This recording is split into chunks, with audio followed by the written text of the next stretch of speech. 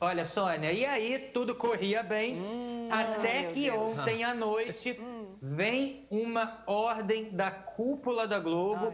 a gente teve acesso a essa ordem da cúpula da Globo, mas ela chega à direção da Globo sem explicação, porque é, a, as informações que a gente tem, Sônia, é do executivo. Tá. E isso ainda não chegou detalhado na direção, mas a gente vai adiantar aqui porque nossas fontes estão aqui em cima. Tá. Ontem à noite vem uma ordem da Globo dizendo o seguinte: é um momento de crise com os dois programas, porque o setor de inteligência da emissora elaborou um relatório gigantesco a partir dos dois primeiros programas. Tá. Foi um relatório horroroso que cai como uma bomba para a direção, mas eu falei que a direção ainda não sabe exatamente, porque ontem à noite a ordem foi o seguinte: a gente quer que o encontro abra o programa, tenha aí seus 30, 35 minutos de programa com a Patrícia e com o Manuel, e logo depois vá para os estúdios da Ana Maria Braga, vamos fazer com a Ana Maria Braga uma entrevista no horário do encontro e a gente explica depois. A gente vai marcar uma reunião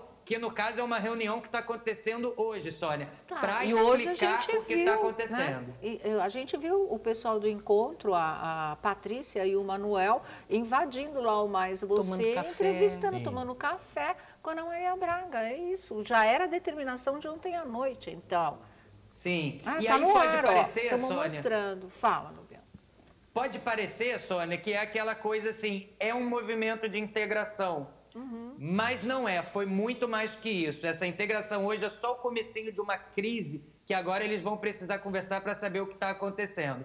O que, que a gente ficou sabendo, Sônia, que vai ser conversado agora com a direção e que isso cai como uma bomba do executivo?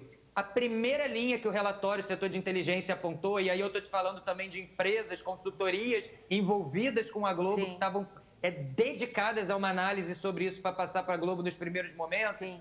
é que o encontro se perdeu, Sônia. O encontro se perdeu. É, a identidade do encontro, a questão da troca de horário e o público, a primeira impressão que tem que ficar se perdeu completamente. A troca de horário, que parecia ser uma coisa boa, esse relatório aponta que foi absolutamente um tiro no pé, porque foi uma troca de horários que dependiam claro. de diversas mudanças que foram pontuadas nesse relatório que a gente teve acesso e que essas mudanças não ocorreram. Ou seja, hum. o público da Ana Maria Braga ele foi embora das manhãs agora com o encontro. Ele não assistiu. O que ele assistiu, o pouco do público da Ana Maria Braga que assistiu esse novo encontro, ele criticou, ele fez duras críticas ao encontro, ele não quis nem avaliar o lado bom ali do encontro. Então, quer dizer, é, é, o relatório diz: vocês quiseram lançar a Patrícia sem estruturar o programa e foi um lançamento completamente errado, porque para lançar a Patrícia como a nova apresentadora, a gente vai detalhar que não precisava inverter os horários e isso agora significa Exatamente. uma crise muito grande, muito dizer, grande. A crise é em relação à troca de horários, não tem nada a ver entre as duas apresentadoras. A gente não está vendo um filme como foi a Fátima Bernardes e a Patrícia Poeta. Não, Patrícia e Ana estão se dando muito bem. A crise vem do, da decisão da emissora de trocar os horários, é isso, né? Sim, sim, vem de trocar os horários porque é, esse relatório apontou que para essa troca de horário, diversos itens teriam que acontecer para que o público se sentisse mais de acordo com o horário de cada programa.